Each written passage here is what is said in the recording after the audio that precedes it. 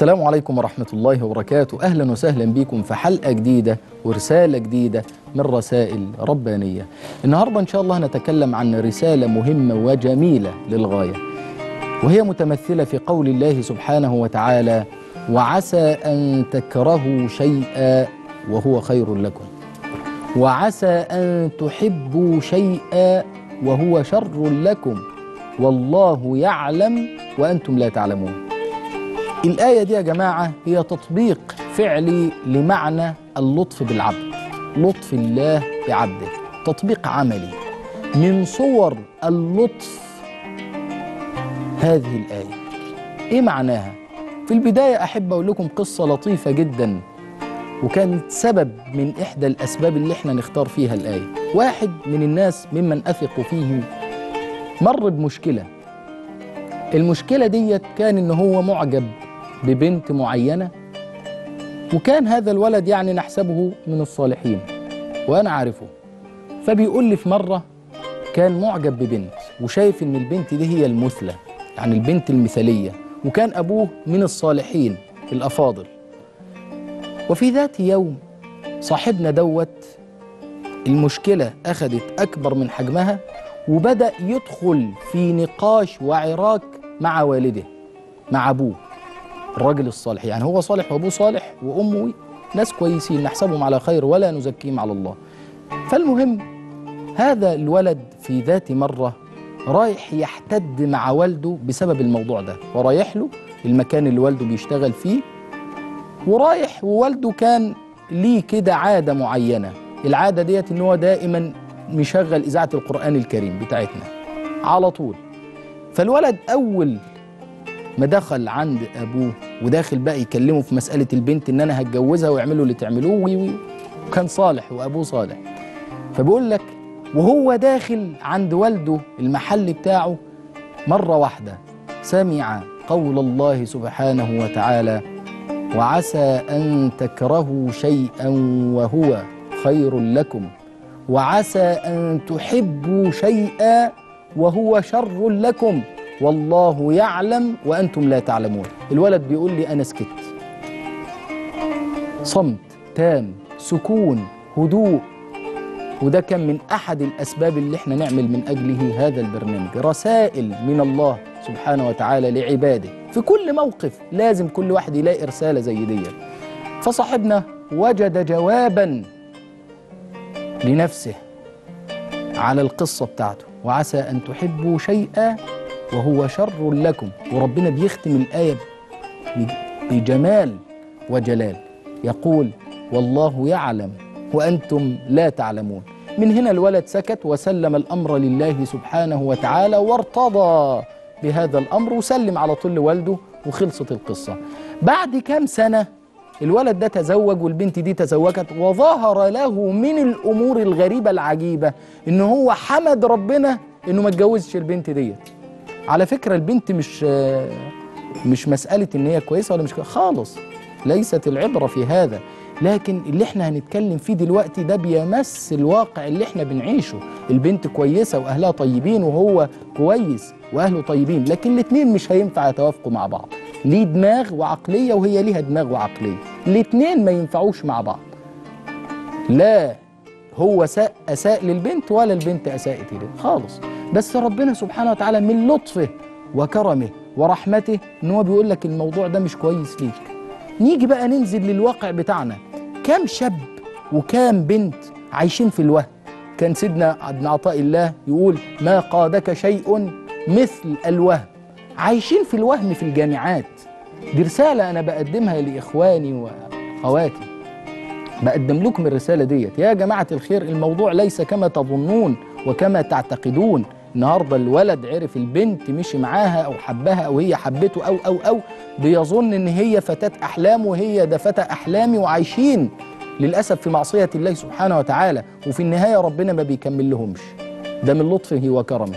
النهارده كون إن أنت تدخل عند ناس وترتبط ببنت وربنا سبحانه وتعالى ما يجعلش نصيب بينكما ده مش آخر العالم. دي مش نهاية العالم يعني. ده ربنا مش رايد علشان عايز لك خير وعايز لها هي كمان خير.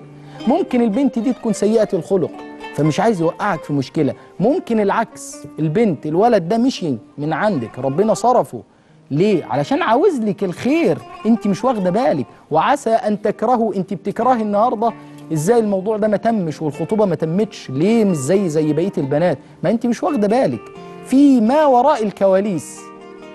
الأمور الإلهية التي يريد الله بها لطفا بك. عايز يلطف بيك وعايز يلطف بيك. فما ينفعش أنتوا الاتنين مع بعض. فبيصرفوا أو بيصرفها. ليه؟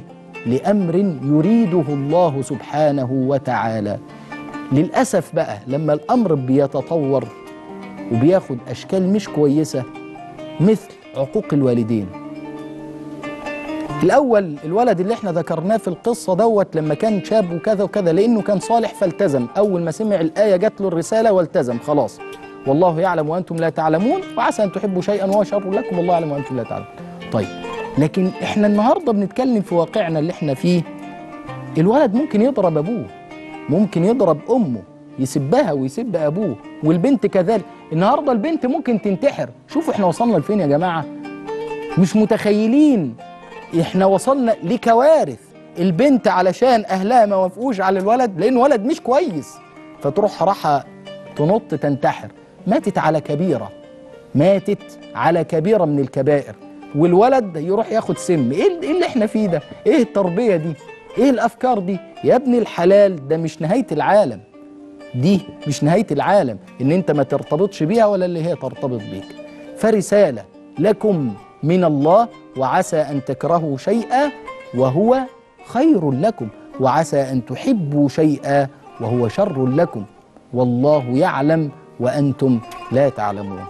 وفي النهاية ما قدمناش إلا حاجة واحدة بس نحسن الظن بالله. قولا واحدا. ليه؟ لأن الأمر مش هيظهر لك دلوقتي. أمال فين فايدة الاختبار والابتلاء؟ آه ولنبلونكم حتى نعلم المجاهدين منكم والصابرين ونبلو أخباركم. ربنا هيختبرك بالموقف ده. ها؟ بعد عنك الأمر ده هتعمل إيه؟ هي دي بقى القصة. هتعمل إيه؟ هتصبر وتقول الحمد لله رب العالمين. لعله خير. ليه لعله خير؟ لأن في المنع في حد ذاته قد يكون عين العطاء. زي ما ابن عطاء الله السكندري بيقول قد يكون المنع هو عين العطاء. يعني إيه المنع عين العطاء؟ ده منع عني آه رزق. خلي بالك الرزق ده لو كان جالك يا ابن الحلال كان رزق حرام كان هيدخل على بيتك حرام. المنع إن ربنا يمنع عنك هذا الأمر ده في حد ذاته عطاء ليك أنت بس أنت مش واخد بالك. ولذلك ابن عطاء الله السكندري رضي الله عنه بيقول لك في حكمة تانية جميلة جدا. بيقول لك إنما يؤلمك المنع لعدم فهمك عن الله. خدت بالك من الحتة دي؟ ركز.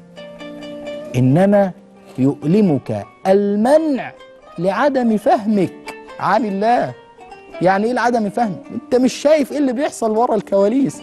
ده ربنا أبعد عنك هذا الأمر علشان حكمة إلهية عاوز يلطف بيك بس أنت مش واخد بالك. وفي النهاية عارف بتعمل إيه؟ بتطعن في حكمة الله للأسف الشديد. هي دي المصيبة اللي إحنا ممكن نصل إليها. إساءة الظن بالله وهو رؤوف بنا. رحيم بنا يعني ربنا رحيم بينا ولطيف بينا. وإحنا ومع ذلك بنسيء الظن بيه. لا لا لا ده ربنا ما بيحبنيش. ليه يا ابني ما بيحبكش؟ وليه يا بنتي ما بيحبكيش؟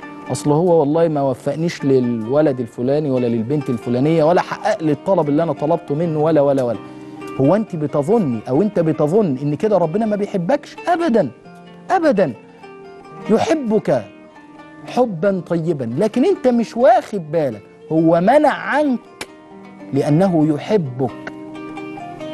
منع عنك لأنه يحبك. فقد يكون هذا المنع هو عين العطاء.